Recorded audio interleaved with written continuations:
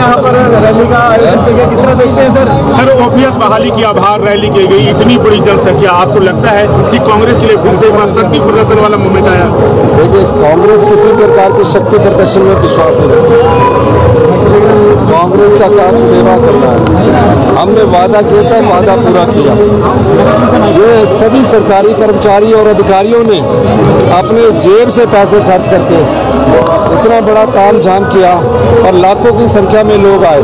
मैं सरकारी कर्मचारी और अधिकारियों का धन्यवाद करता हूँ इस आशा के साथ कि आने वाले समय में जो उनका 9,242 करोड़ रुपया फंसा है उस लड़ाई को हम केंद्र से लड़ेंगे। उसका सेनापति मैं हूँ सरकारी कर्मचारी और अधिकारी हमारी सेना है। पूरे जोश से लड़ेंगे पूरी कैबिनेट लड़ेगी जोश तो आपने भी देखा है लेकिन केंद्र सरकार जो आपका हिस्सा रोक रखी है उसकी बड़ी वजह क्या है? क्योंकि कल की नीति आयोग की बैठक में आप शामिल थे। बड़ी वजह क्या है सर? केंद्र सरकार क्यों नहीं रिलीज़ कर रही है? नहीं जो हमने वादा किया था उस वादा को निभाया हमने। उन्होंने यही नहीं रोका।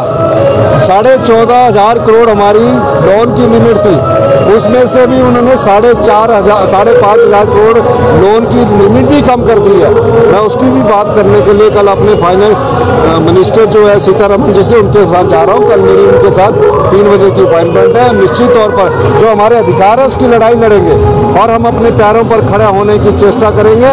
हम ये लड़ाई आगे अब उस संघर्ष के लिए करेंगे कि हिमाचल प्रदेश अपने पाँव पर खड़ा हो और 10 साल में हिमाचल प्रदेश हिंदुस्तान का सबसे अमीर राज्य गारंटियों को लेकर कह रही है कि गारंटियाँ पूरी नहीं की कांग्रेस सरकार ने और हवा हवाई गारं- गारंटियों को पूरा करने के लिए पाँच साल जनता ने दिए हैं। आप भाजपा को द्वारा बोलना कि अभी हमारी दो गारंटियाँ पूरी हो गई है और गारंटियाँ पाँच साल है।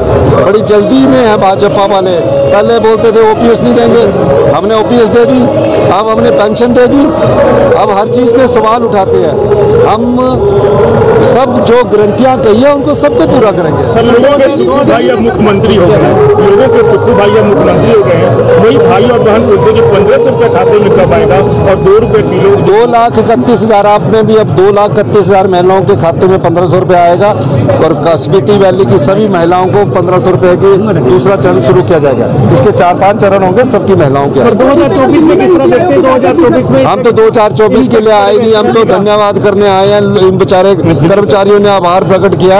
हमारा अभी काम कर रहे हैं हम। हम लोगों की सेवा करना चाहते हैं। हम चाहते हैं जो पत्रकार बंधु जो इतना संघर्ष करते हैं उनको भी अपने में सामर्थ्य आए और सरकार हम जब अपने पैरों पर खड़ी होती है और हम जब इसको समृद्धशाली और अमीर राज्य बनाने की बात करती है तो आप सब लोगों की आय में भी दुगनी वृद्धि होगी सर आउटसोर्स वाले भी आप निगाह जमाए हुए हैं आउटसोर्स आउटसोर्स के लिए भी हम लोग कोशिश कर रहे हैं समझ रहे हैं। आउटसोर्स को हम आउटसोर्स में लगाएँ या फिक्स्ड अमाउंट में लगाएँ इस दृष्टिकोण से हमारी सरकार कार्य कर रही है ताकि फिक्स्ड अमाउंट में लगाने से उनका सरकार में नौकरी मिल जाएगी।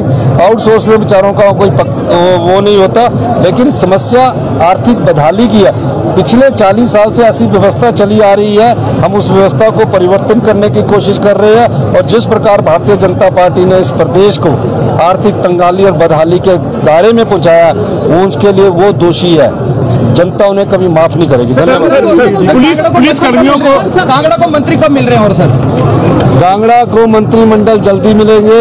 अभी हम सब लोग कांगड़ा के ही है। कांगड़ा में तीसरी बार आ गए हैं। मंत्रिमंडल गठन में सब प्रकार की बातें चल रही है कभी भी मंत्रिमंडल विस्तार हो सकता है और इस दृष्टिकोण से आगे बढ़ा जा सकता है। एक आखिरी सवाल पुलिस कर्मियों को डेली अलाउंस कब बढ़ाएगी? क्योंकि पिछले सरकार से उम्मीद थी और तमाम अगर अन्य राज्यों की तरफ़ से देखें तो उनको दो सौ दस रुपये महीने का मिलता है। इनको इनको कैसे करेंगे आप कैसे देखेंगे? बात सही है कि पुलिस कर्मियों की बात है। मैं उस दृष्टि से भी देख रहा हूँ पुलिस कर्मियों का डेली अलाउंस आने वाले तो सुख की सरकार कब करेगी? बढ़ेगा बढ़ेगा। बढ़ेगा।